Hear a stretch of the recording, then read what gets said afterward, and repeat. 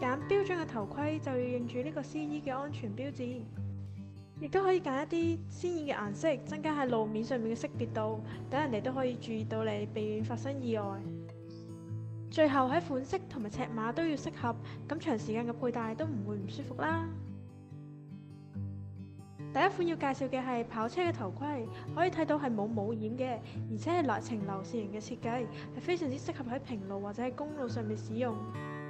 第二款要介绍嘅系爬山车头盔，佢系配有一个可拆式嘅帽檐，可以用嚟抵挡住树枝雨水。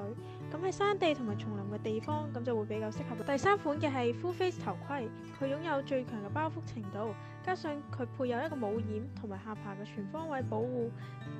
咁可以喺山地或者做一啲跳跃嘅动作嘅时候就唔会轻易受伤。提提大家，头盔系有使用期限㗎。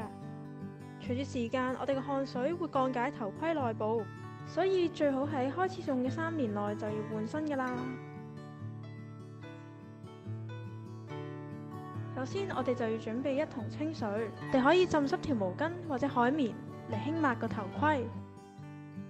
大家要记得清洗头盔垫同埋帽带，咁仲可以摆一啲中性嘅清洁液嚟清洁。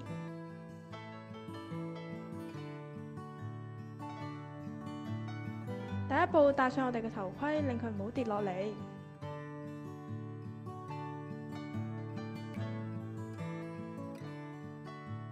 然后我哋就调校帽带，扣好咗之后就做适量嘅调姿，要注意唔好遮住耳仔。咁帽带咧就喺耳仔下面，而扣带就好似 V 字形咁喺下巴，同下巴保持一只手指嘅距离。